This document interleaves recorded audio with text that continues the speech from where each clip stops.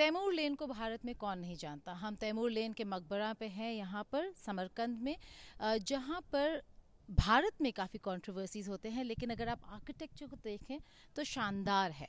आप यही मुग़ल आर्किटेक्चर दिल्ली में भी देखते हैं, जो जो मुग़ल डिनेस्टी के आर्किटेक्चर है, वो सब यहाँ उज़्बेकिस्तान से इंस्पायर्ड है। क्यों? क्योंकि जो मुग़ल डिनेस्टी का गढ़ है, वो ये समरकंद उज़्बेकिस्तान है। तैमूर लेन के जो डिसेंडेंट्स थे वो बाबर थे जो भारत गए और भारत में फिर उन्होंने अपनी अपनी सत्ता बनाई अपना रूल बनाया।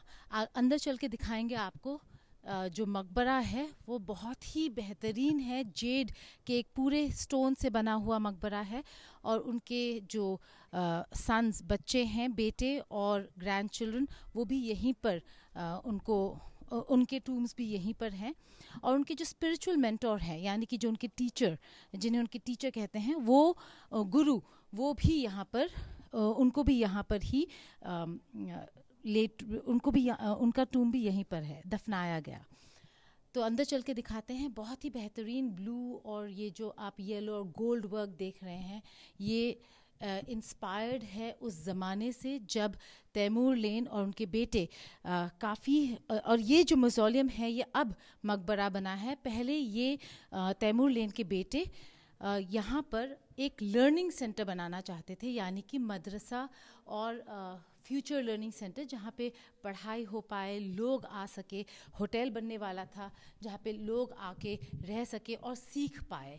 लेकिन क्योंकि उनकी मौत बहुत जल्दी हो गई मोहम्मद सुल्तान की, मोहम्मद मोहम्मद सुल्तान की तो इसीलिए ये जो उनके grand grandson grandson है, वो यहाँ पे लर्निंग सेंटर बनाना चाहते थे, लेकिन क्योंकि उनकी मौत जल्दी हो गई तो इसलिए मिरन शाह और शाहरुख जो उनके बेटे थे उन्होंने इसको एक मकबरा का रूप दिया, तैमूर लेन ने खुद, और उसके बाद यहाँ पर जो उनकी पूरी ख़ानदान है, जो इम्पोर्टेंट मेंबर्स है, तैमूर और उनके बेटे और उनके पोते, परपोते, सब यहीं पर दफनाए गए हैं।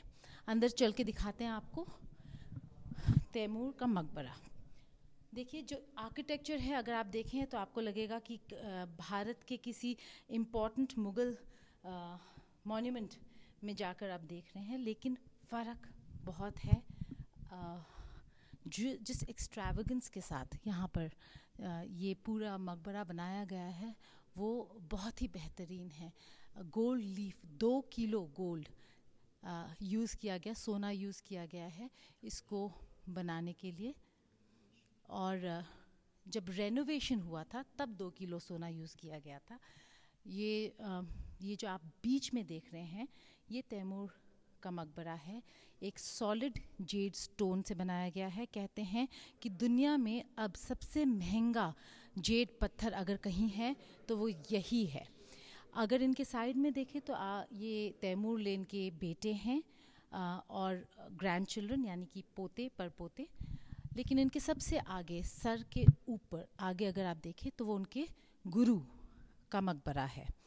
इनके जो आ, इनके जो टूम्स हैं वो नीचे हैं लेकिन वहाँ पर रिस्ट्रिक्ट कर दिया गया है क्योंकि बहुत लोग जाने की कोशिश करते हैं कोई छूने की कोशिश करता था इसलिए उनको वहाँ अब इजाज़त नहीं है जाने की। लेकिन यहाँ पर आके आप देख सकते हैं और जो ब्यूटी है जिस तरीके से यहाँ पर इस इस इस पूरे म्यूज़ोलियम को बनाया है उससे पता चलता है कि आर्किटेक्चर लर्निंग कंस्ट्रक्शन पर कितना कितना फोकस था इस पूरे डिनेस्टी का। कंट्रोवर्सीज बहुत रहेंगे तैमूर को लेके, लेकिन भारत और उज़्बेकिस्तान का अगर कोई कनेक्ट है और अगर उसको आप सही दिशा में और अच्छे लाइट में देखना चाहते हैं तो आप इस तरीके से भी देख सकते हैं जहाँ पर लर्निंग आर्किटेक्चर और कनेक्टिविटी की बात करते हैं। तो इसी कनेक्टिविटी को लेकर अब जब भारत एस का हिस्सा है और चाहता है उज़्बेकिस्तान के साथ कई रिश्ते और मज़बूत हो तो ये एक ऐसा जगह, ऐसी जगह है जहाँ से कहीं ना कहीं आप इंस्पिरेशन ले सकते हैं इंस्पायर हो सकते हैं। समरकंद में गीता मोहन आज तक।